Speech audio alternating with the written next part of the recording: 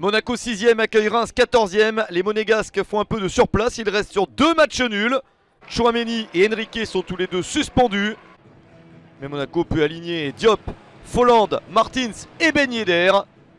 Le club de la Principauté espère donc remporter ce match contre une équipe de Reims qui n'a gagné qu'une seule de ses sept dernières rencontres. Abdelhamid est suspendu, Kassama et Ekitike notamment sont blessés. Première opportunité pourtant pour Reims avec ce tir cadré mais directement sur Alexander Nubel.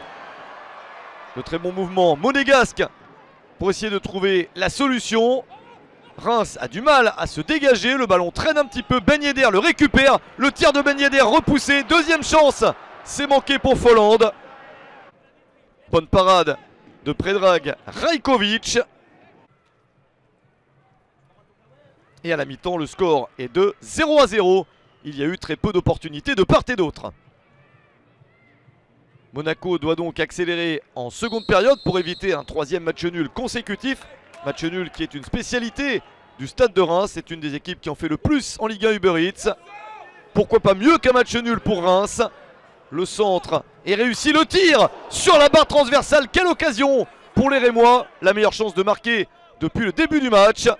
Le centre de Conan et le tir soudain de Hornby. Manque un petit peu de réussite pour les Rémois.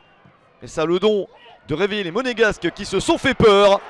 Wissam Ben tout juste élu meilleur joueur du mois de janvier.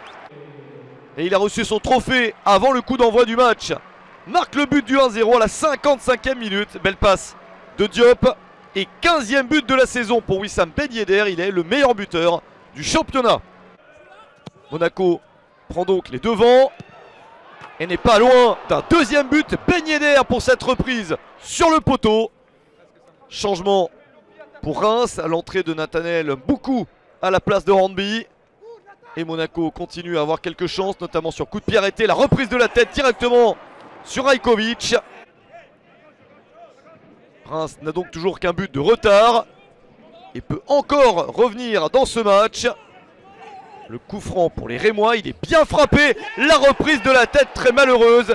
Kevin Folland marque contre son camp et ne laisse aucune chance à son compatriote Nubel dans le but.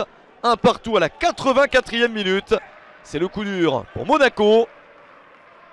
Jean-Lucas laisse traîner le pied de manière inexplicable ici. Et l'arbitre l'a vu. Carton jaune pour Jean-Lucas. Son deuxième en deux minutes seulement. Le milieu de terrain brésilien est exclu à la 88e minute et le match tourne décidément très mal pour l'AS Monaco. Car Reims se bat jusqu'au bout.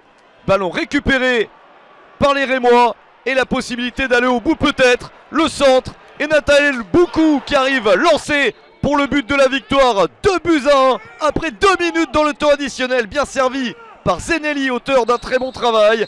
Deuxième but de la saison pour Boukou. Et incroyable victoire en toute fin de match de Reims. 2 buts à 1 sur le terrain de Monaco.